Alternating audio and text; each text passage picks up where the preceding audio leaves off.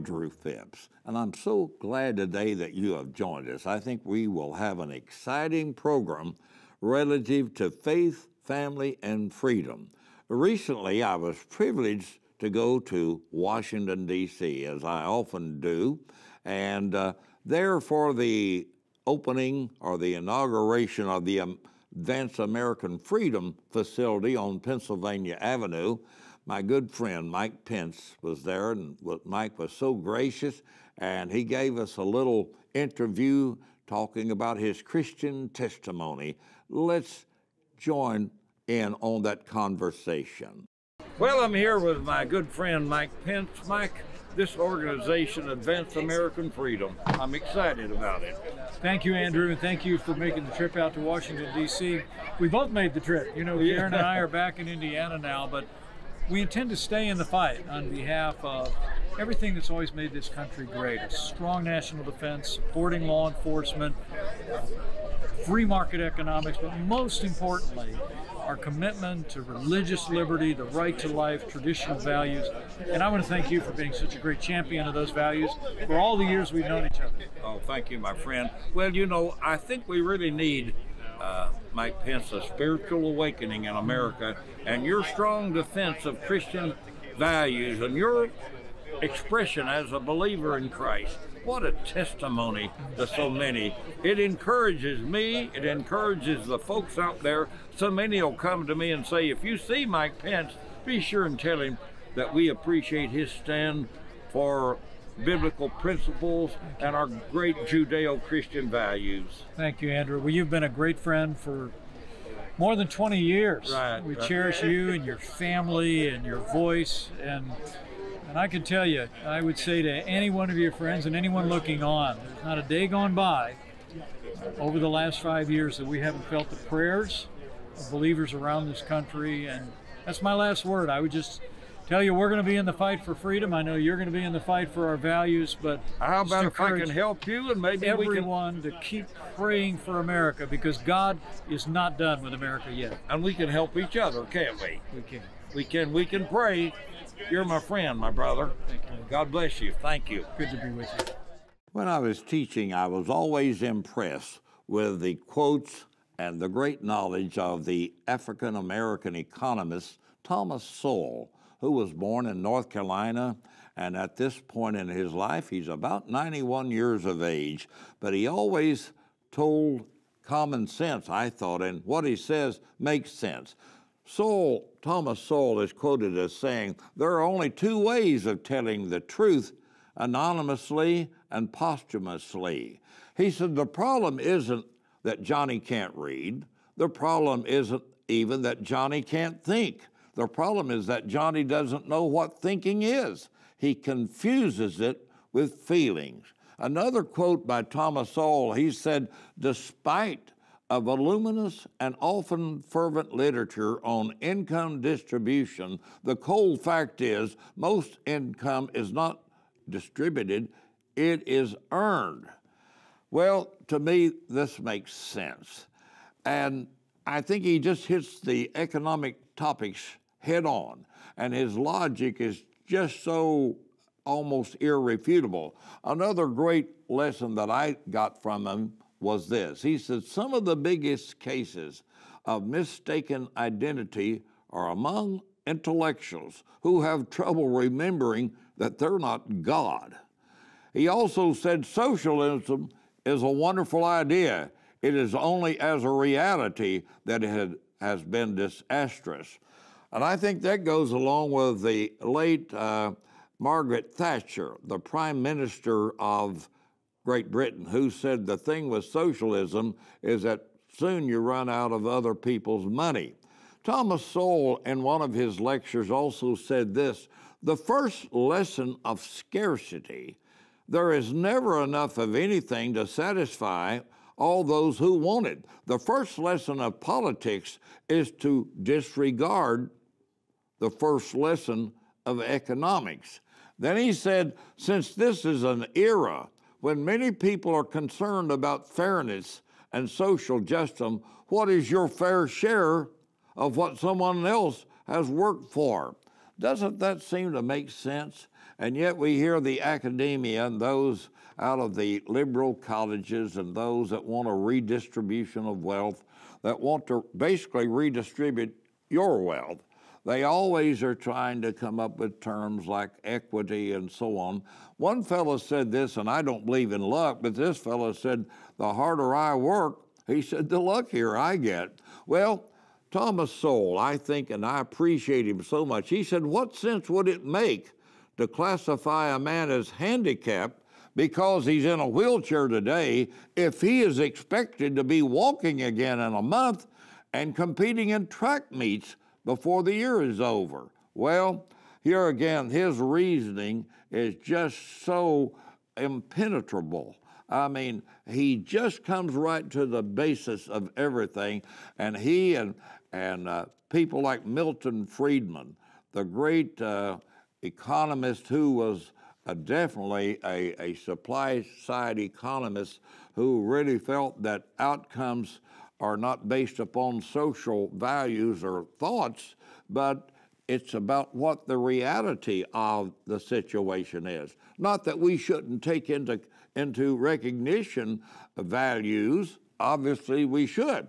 Another thing that Thomas Sowell really hit hard on was he said the concept of microaggression is just one of many tactics used to stifle differences of opinion by declaring some people's speech to be hate speech instead of debating those differences in a marketplace of ideas. What a wonderful thought. Wouldn't it be nice if we would just take a look at what people say rather than to put a label on it and call it something that it may not be at all. And that's what we see. If we tell the truth, if we have the facts to validate things, many people say, oh, we don't want to hear that. We just know that couldn't be right. Well, we're going to pursue more of these when we return, and we hope you'll be with us.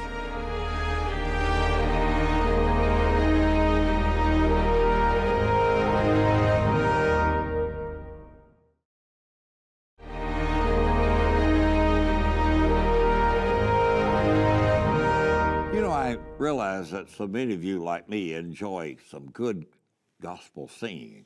And I just feel like that on our Faith, Family, and Freedom program, that's a wonderful addition. Not too long ago, Rodney Griffin of Greater Vision wrote a great song for the Mark Trammell Quartet. Rodney is a tremendous writer, great Christian man, and my, he has written some of the best. And the Mark Trammell Quartet is going to sing that composition. The song simply says, Go ask Moses. Questions in life are common, answers are hard to find. So if you need a friend to call on, here's a name from days how it feels when God says, I'll depend on you. Go ask Moses how a bush on fire will make you lose your shoes. Go ask Moses how it feels to watch as the mighty Red Sea closes.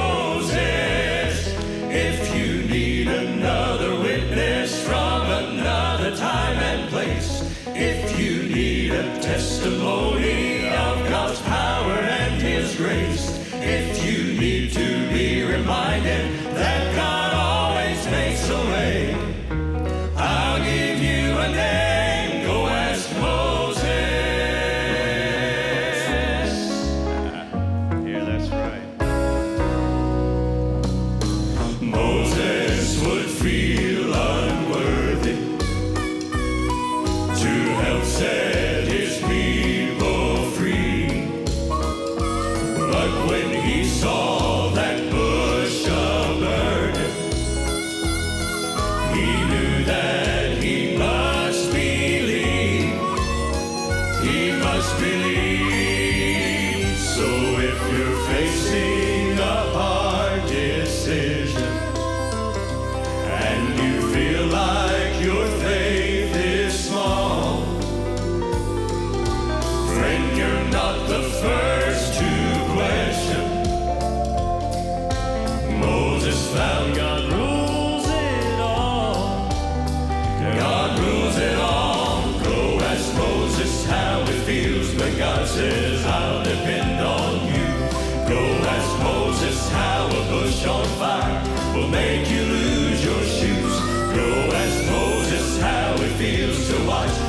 mighty Red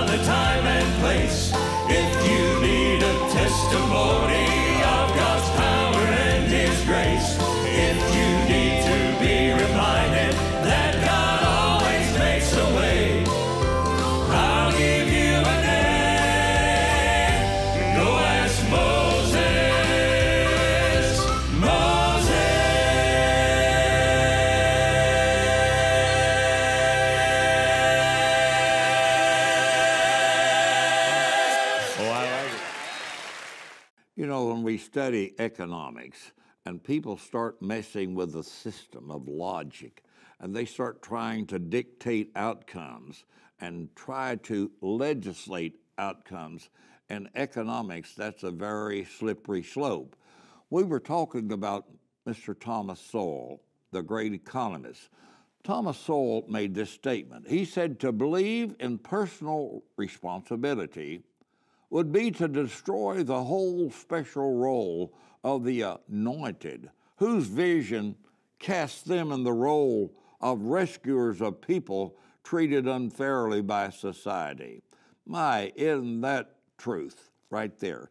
We have so many today that are trying to uh, correct supposedly the ills, and by legislation, they're trying to put people into groups. They're picking winners and losers.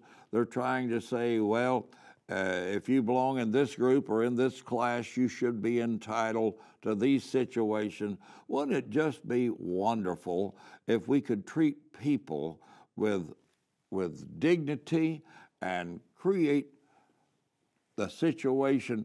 For example, there was a quote by Mr. Walter Williams. He said this What do the poor most need? And he said this they need to stop being poor. Now, that may seem a little bit heartless, it may seem a little bit callous, but the truth of the matter is he's saying we don't change the situation until we want to change. The prodigal son never started for home until he got in the pig pen down there.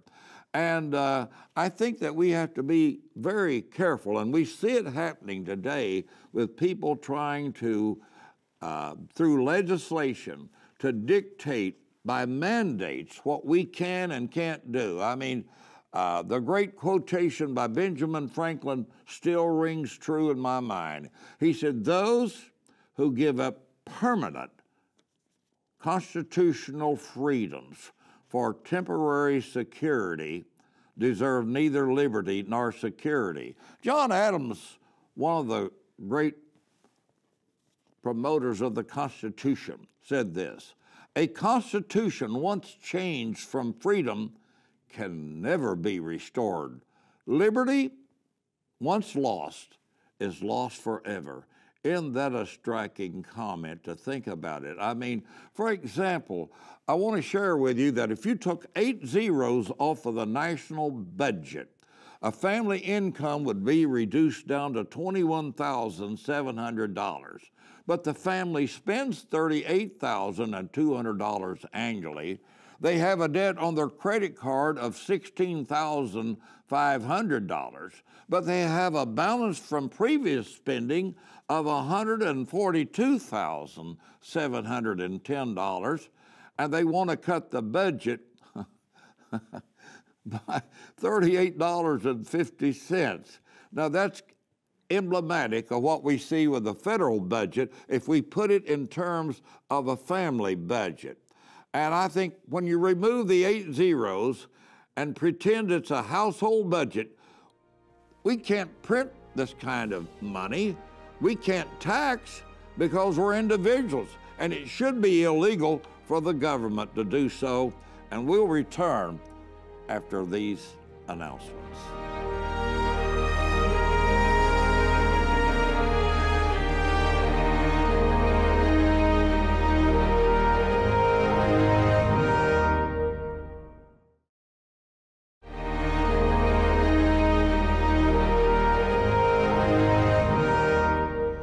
Late Adrian Rogers, who was pastor of the Bellevue Baptist Church in Memphis, Tennessee, had a lot of great quotations that people still remember.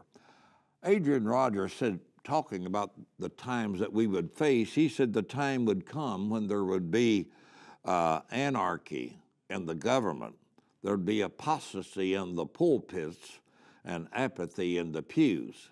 Adrian Rogers, in commenting about the financial or the economic climate, had a quotation that I think we all need to address. And we need to take this and consider it. Adrian Rogers simply said this He said, You cannot legislate the poor into prosperity by legislating the wealthy out of prosperity. He said, The very moment that you take from others and give to others that don't earn and contribute, he said, then democracy is in peril. I think that's altogether relevant for us. I think that when we have destroyed the work ethic, the idea that a man should provide for his own family, that he ought to, uh, the Bible said that he that will provide not for his own is worse than an infidel and having denied the faith. Well, I know that this country was built upon the labor and the contributions of others. And people didn't always look for a handout. They weren't looking for a government subsidy. They weren't looking for an entitlement program. They weren't looking to some bureaucracy in Washington, D.C. or elsewhere to support their families. People did what they could under the conditions. They worked, they uh, contributed, they went to their respective jobs and vocations or professions, and they did according to their abilities and according to what they had made preparation. I think it would do us well in this country to revisit some of the old fashioned ideas. We must get it in the minds of our young people that there is no such thing as a free lunch. Nowhere are we to uh, promulgate that idea or to make it the capstone of our living. I just think that there are so many great opportunities that we all have, and if we'll take advantage of them, we can make a great contribution to not only ourselves and to our families and communities, but we can be in accord with the biblical mandates of having a profitable life, of doing something that helps people. We can't all just sit in the hammock and stay there and expect others to come by and provide for us. If you took all the wealth of all the billionaires, all of the billionaires in America, it would only fund the government for maybe, I believe, 80 some days. If you took every penny of all the billionaires in America, it would only fund the government for just uh, maybe 85 days or something like that. In other words, it takes everybody. Nobody should look for that way of getting shirking our responsibilities. And I'll say more about it when we come back in the next segment.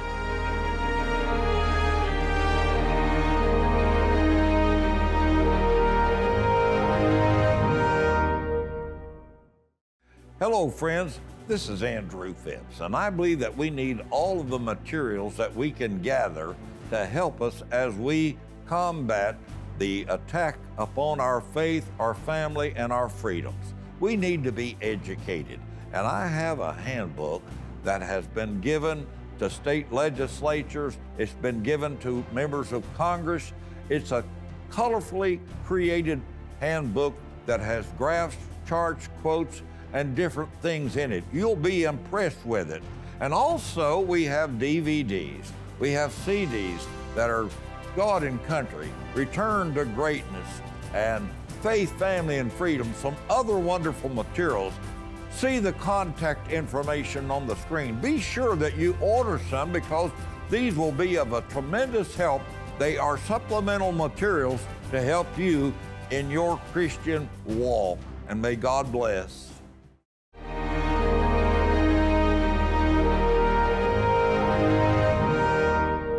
Think that's why we're seeing so many mandates today. It's about government control.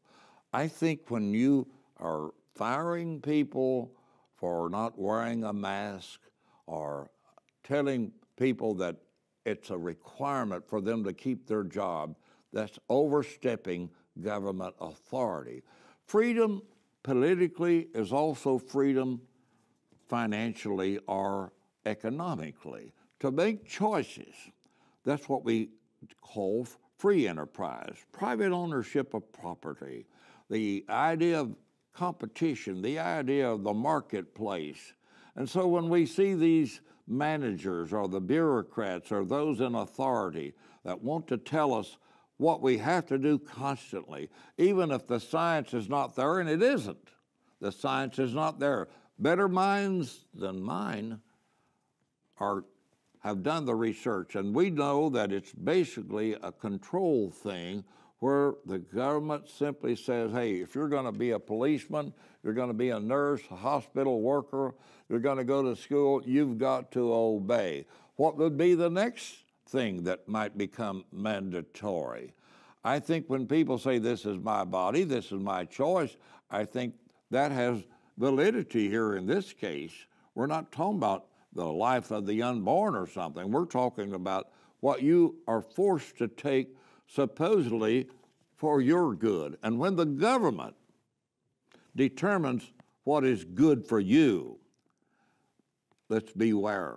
They can't speak with that certainty. We're always uh, must be very leery of when the government says this is for the better good. That reminds me of some of the history I have read about in the past. Once again, remember that Adrian Rogers said you cannot legislate the poor into prosperity by legislating the wealthy out of prosperity.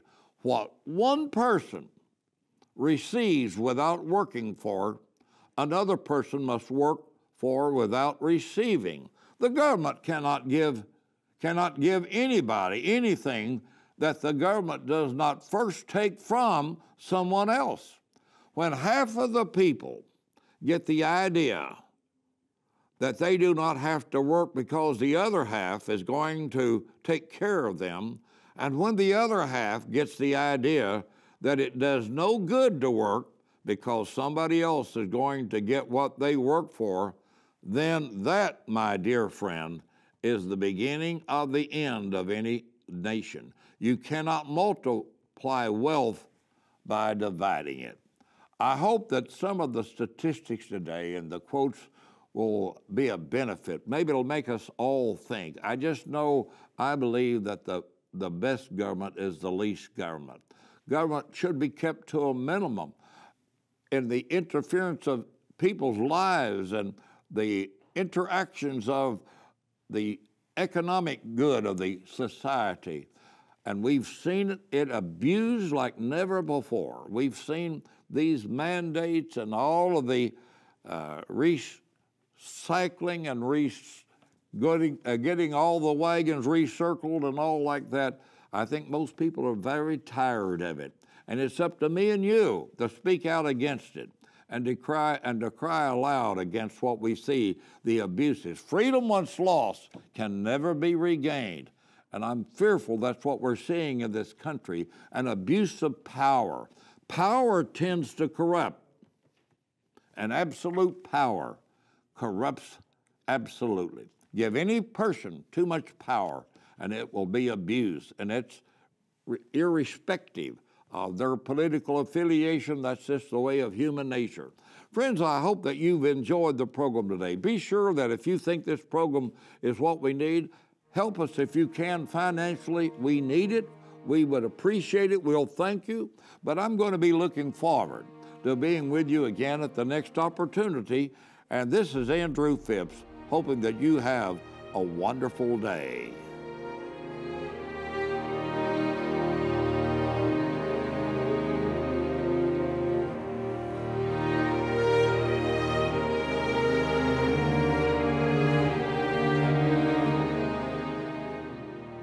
Phipps Faith, Family, and Freedom, presented by Clemens Home Solutions and Heritage Funeral Care.